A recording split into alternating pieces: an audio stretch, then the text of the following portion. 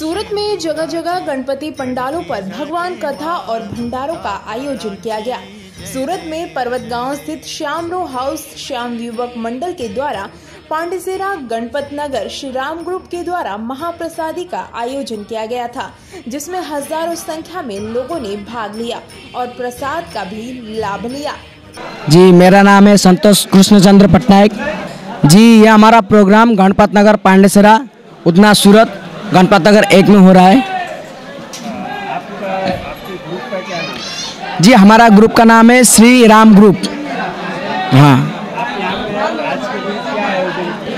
जी, हमारे यहाँ पर हम लोग आज के दिन भंडारा का आयोजन किए हैं।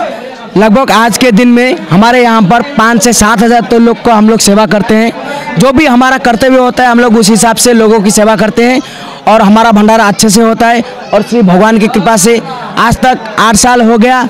ये प्रोग्राम हमारा हर, हर साल चलते रहा है और हम दुआ करते हैं कि ये प्रोग्राम हमेशा ऐसा चलता रहेगा।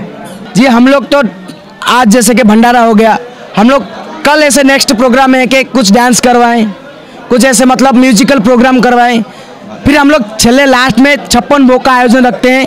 फिर बारह बजे लास्ट आरती होती है उसके बाद दिन बप्पा का विसर्जन होता है। मेरा नाम सुधीर सिंपी है और ये श्याम रो हाउस जहाँ पर्वत गाँव की सोसाइटी है जहाँ हम 2002 से रह रहे हैं और करीब इतने सालों से 15-16 सालों से यहाँ सार्वजनिक गणेश महोत्सव का आयोजन होता है। इसमें पूरी सोसाइटी बहुत अच्छी तरह पार्टिसिपेट करती है और आज हमने यहाँ भंडारे का भी आयोजन रखा हुआ है और आ, हर बच्चे को हर दिन एक्टिविटी करवाते हैं और ये सारी चीज़ें इस श्याम हाउस में सालों से हो रही है। थैंक यू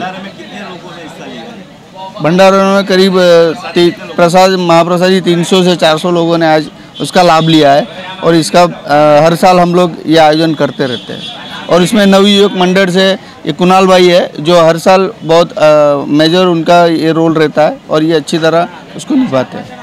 एक्टिविटी बच्चे हर दिन अलग अलग रहता है जैसे एक दिन गरबा रख दिया म्यूजिकल चेयर रख दिया उनको खेलने के खेलने कूदने के लिए जो भी गेम्स वगैरह है उसका आयोजन करते हैं। फिर एक दिन अलग अलग दिन के हिसाब से अलग अलग दस दिन आयोजन रहता है और उस हिसाब से करीब यहाँ पे चालीस अस्सी घर है टोटल मिलके चालीस घर है और अस्सी जैसे रेसिडेंट्स है और वो सभी लोग अच्छी तरह उसमें भाग लेते हैं।